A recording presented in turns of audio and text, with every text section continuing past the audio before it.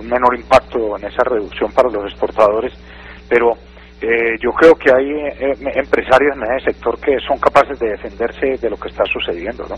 ¿Qué tanto sufriría la economía, bueno, el empleo y los bancos si el país continúa con una revaluación severa del peso? Eh, es em, para mí difícil de, decir eso. Yo, sinceramente, pues para calificar qué sería una revaluación severa tengo dificultades. Yo pienso que lo que es indiscutible y que lo tienen que tener en la mente todos los empresarios es que las condiciones están dadas para que el mercado del dólar esté bastante ofrecido y consecuentemente sus precios pueden estar eh, más bien eh, eh, estables o hacia la baja. No, no encuentra uno argumentos para pensar que en este año vaya a haber una devaluación del peso. Por el contrario, que se mantenga su precio o que haya revaluación serían escenarios más, más razonables.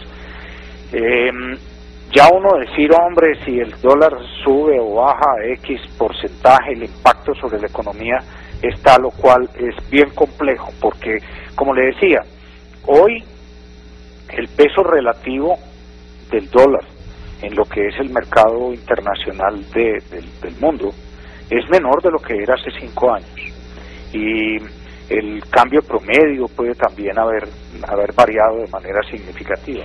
Entonces ahí uno tiene que empezar a hacer sumas y restas también y, tiene que ver el impacto global de un, de un mundo cambiante, de manera que esa es una proyección que yo no soy capaz de hacer. Muy complicada, pero se atreve a hacer una, una proyección de pronto de, de tasa de cambio al 31 de diciembre. No, esa, esa es peor, esa es una apuesta que se nos ha vuelto muy difícil, Paola, la verdad.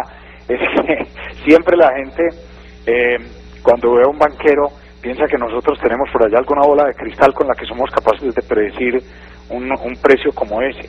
Y realmente, pues los departamentos económicos de, de estas entidades hacen proyecciones, pero durante los últimos años la volatilidad del cambio del dólar ha sido tan grande y ha estado sometida a elementos tan impredecibles que hacer esas proyecciones se convierte en un ejercicio eh, un poco estéril. Eh, yo a veces lo hago ¿verdad? con los amigos por un poco pasar el tiempo y haciendo apuestas, pero no para eh, constituirse eso en una base para hacer los negocios. Si yo supiera en cuánto iba a estar el, el dólar al final de este año, Compraría estoy seguro que ganaría muchas apuestas. eh, ¿Qué va a pasar entonces eh, en otro campo en el cual uno sí pensaría que podría hacer apuestas? Con las tasas de interés. Estamos en el 3,5%, el Banco de la República ha decidido dejar quieta por ahora la tasa ahí, pero hay quienes le están apostando a una subida. ¿Cómo ve usted este tema? Pues a ver, yo veo que el Banco de la República ha sido bastante asertivo en el manejo de la política monetaria. Eh, Colombia tiene en eso uno de sus principales activos para la estabilidad de la economía. el Banco Central nuestro ha sido muy bueno en el, la toma de las decisiones. Fue el primer banco central que empezó a corregir al alza las tasas de interés cuando se empezaron a eh, prever los síntomas de un recalentamiento de la economía y eso ayudó a Colombia y fue el primero que le empezó a bajar cuando ya ese recalentamiento había causado cierta recesión y se requería un estímulo.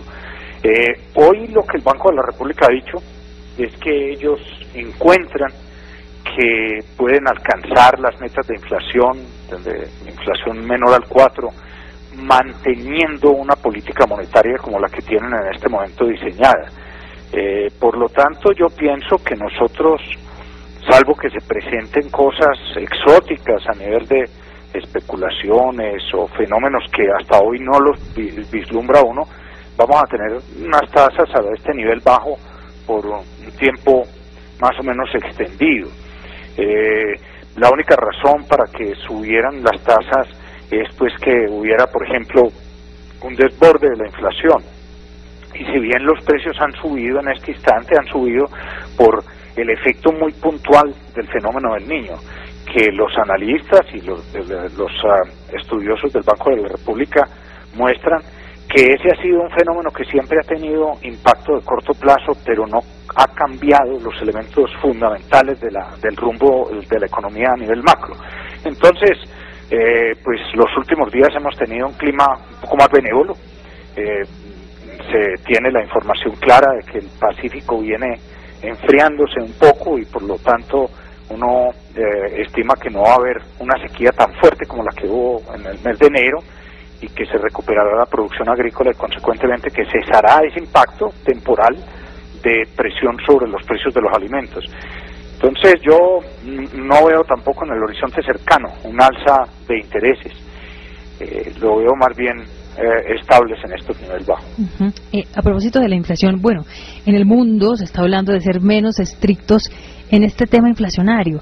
Ayer veía unas declaraciones del economista jefe del Banco Mundial, el señor Blanchard, donde incluso recomendaba tener inflaciones de alrededor del 4%. ¿Usted qué opina? ¿Se debería ser más flexible en lo inflacionario? Yo pienso que, como dicen, todos los extremos son viciosos. Eh, nosotros el año pasado tuvimos una inflación que fue menor de la que esperábamos y que probablemente no sea muy saludable. En, en, cierta medida, la inflación baja que hubo en el mundo entero, en algunos países inflaciones negativas, como nosotros estamos en el eh, en Centroamérica, en El Salvador, eh, y en El Salvador tuvimos una rebaja de los precios, o sea, una, una deflación. Pero eh, eso no es sano, porque una, una economía que esté en crecimiento tiende a, apoyarse y a determinar una cierta alza del precio. De manera que yo creo que el objetivo de tener la inflación bajo control no significa que mientras más baja la inflación se esté cumpliendo mejor. Aquí en Colombia lo que se tiene es una inflación objetivo, que nunca ha sido de cero, por lo menos en los eh, años recientes, y que lo que busca es que haya una, un aumento de los precios que esté dentro de los niveles normales para el crecimiento que la economía está buscando. Evidentemente, eh, buscar inflaciones del cero para economías que están en la etapa de la nuestra puede ser puede ser inconveniente yo participaría de eso pero controlar la inflación sí es muy importante es que simplemente recuerde por un instante lo que eran las épocas pues de las inflaciones de doble dígito cuando teníamos en el país pues inflaciones del 30% y cosas por el estilo o mirar nuestros vecinos latinoamericanos con inflaciones de tres y de cuatro dígitos en el año. Eso constituye un escenario en donde tomar decisiones de largo plazo de inversión y tomar decisiones de construcción de una economía se vuelve sumamente complejo y riesgoso y por lo tanto no es un escenario que favorezca el, el, desarrollo económico. A propósito de crecimiento, bueno, ¿cuál es su apuesta de crecimiento para este año? Se lo pregunto porque todo el mundo parece estarla revisando a la baja. Fede Desarrollo recientemente bajó su proyección de 2.5 a 2.1. La encuesta de expectativas que es el Banco de la República arrojó un 1.6% para este año en promedio. Como que nadie le crea el crecimiento del gobierno del 2,5, ¿no? Claro, eh, yo he visto eso y lo he visto con, con, cierta preocupación de que la gente ha venido colocándose en posiciones relativamente más pesimistas. Nosotros aquí en Bancolombia eh, no hemos modificado pues todavía nuestras predicciones y la verdad es que yo visualizo que hay elementos que se vuelven complejos de predecir.